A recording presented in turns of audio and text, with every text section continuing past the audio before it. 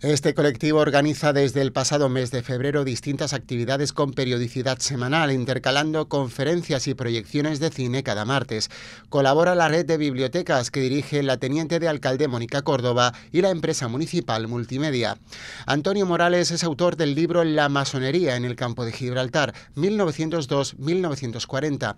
Entre otras cuestiones, el historiador ha estudiado la importancia de Gibraltar en la fuerte implantación de la masonería en la zona. De hecho, hay constancia de que solo en la línea se encontraba el 25% de todos los masones andaluces.